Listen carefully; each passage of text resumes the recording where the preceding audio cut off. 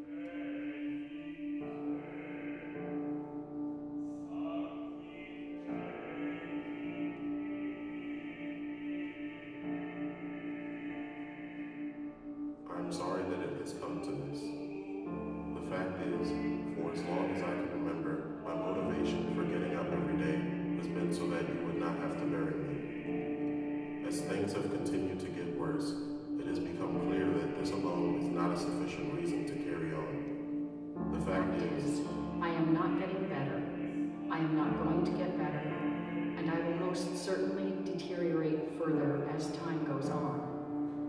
From a logical standpoint, it is better to simply end things quickly and let any repercussions from that play out in the short term than to drag things out into the long term.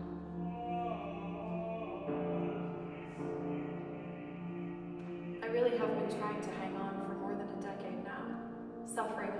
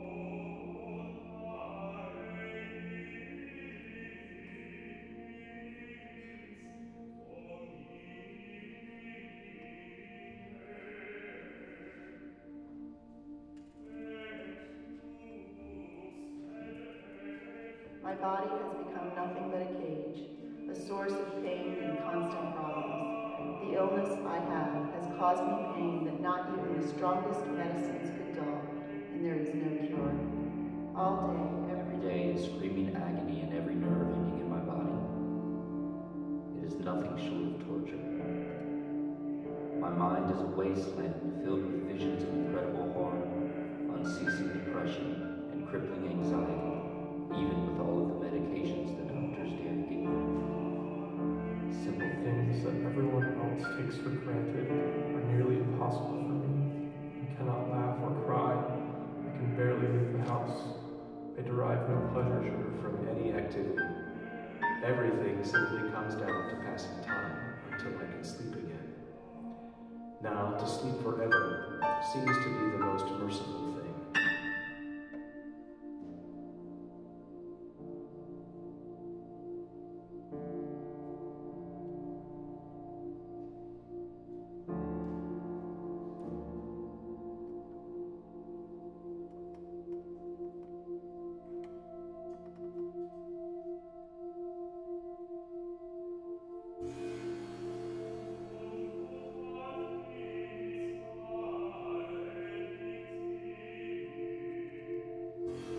not blame yourself.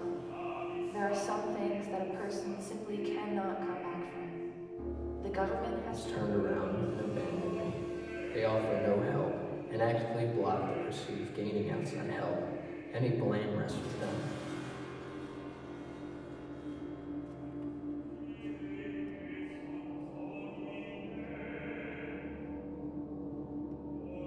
Beyond that, there are the host of physical illnesses that have struck me down again and again, for which they also offer no help. There might be some progress by now if they had not spent nearly 20 years denying the illness that I and so many others were exposed to. Further complicating matters is the repeated and severe brain injuries to which I was subjected, which they also seem to be expending no effort into understanding. What is known is that each of these should have been cause enough for immediate medical attention, which was not rendered. Perhaps with the right medication and the right doses, I could have bought a couple of decent years. But even that is too much to ask from a regime built upon the idea that suffering is noble and relief is just for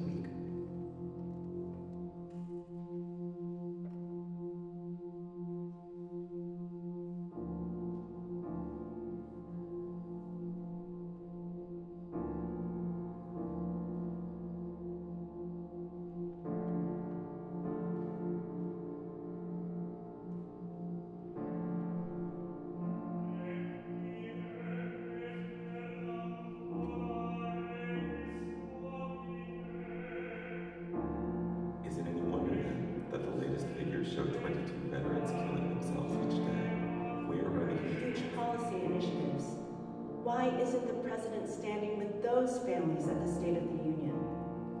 Perhaps because we were not killed by a single lunatic, but rather by his own system of dehumanization, neglect, and indifference.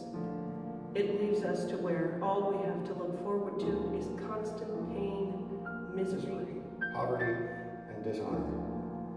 I assure you that when the numbers do finally drop, it will merely be because those who are pushed the farthest are already dead.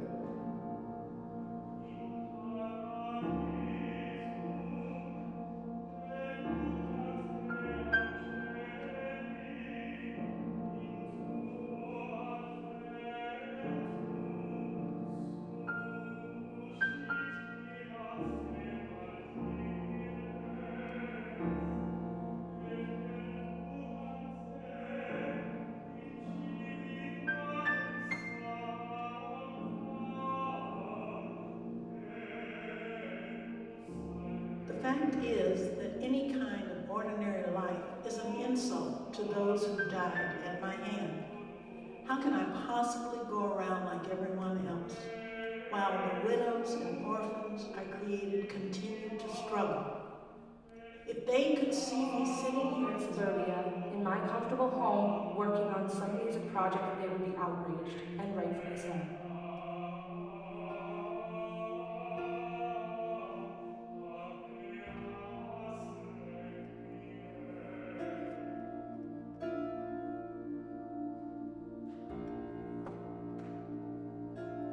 Left with basically nothing. Too trapped in a war to be at peace, too damaged to be at war, abandoned by those who would take the easy route, and a liability to those who stick it out and thus deserve better. So, you see, not only am I better off dead,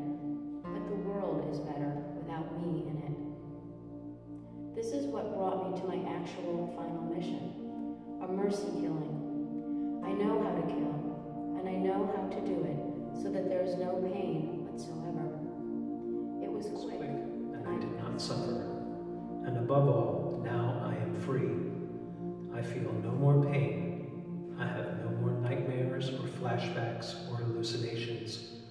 I am no longer constantly depressed or afraid or worried.